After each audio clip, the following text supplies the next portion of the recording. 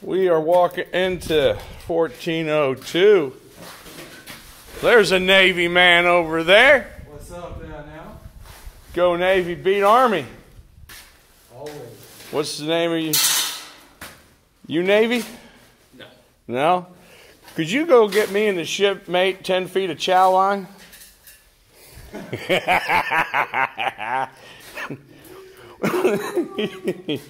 we, we are here with the magicians from air to air beginning HVAC rough-in. Looks like a whole bunch of big giant swimming pool noodles. But these boys are going to do get this installed over about next week through the whole building. I'm happy to hear I got an old Navy veteran friend friend here. He's going to be help. Hopefully he gets to do the whole building. Have some laughs together. That's the plan. Yeah. And then uh, once he gets down the building to the right a little bit more, then the electrician will follow him down the road.